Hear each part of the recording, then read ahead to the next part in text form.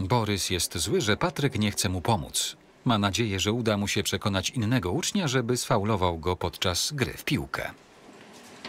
Maciek, chodź, mam sprawę. Co jest? Wyjdź tu. No, idę. No, nigdy się zbytnio nie lubiliśmy, prawda? No nie. A co? No, to, że nie miałbyś problemu z tym, żeby mnie uderzyć albo mnie kopnąć. Ty coś jarałeś?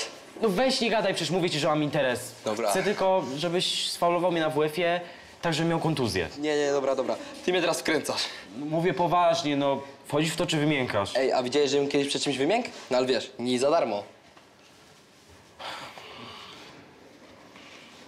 Mam pięć dych. Styknie. Ale pamiętaj, że jak mnie za sobą sfaulujesz, to dychę. Luz, zaczynają takie interesy mi się podobać. Co z wami? Długo mam na was czekać? Nie, już się przebieramy, pani, już się przebrany? przebieramy, panie profesorze. No, już jestem. A ty co?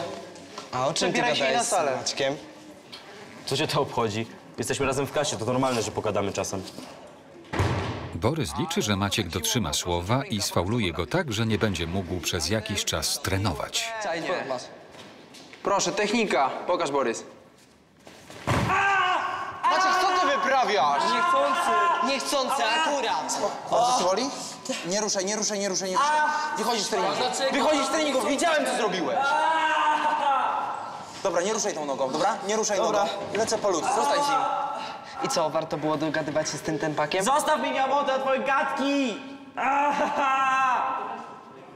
Kurde, Maciek naprawdę nieźle mnie skasował, ale dokładnie o to mi chodziło. Nie wiem, jak długo będę leczył tę kostkę, ale na pewno przez kilka tygodni i przez to będę miał w końcu święty spokój. Tata na pewno mi teraz odpuści.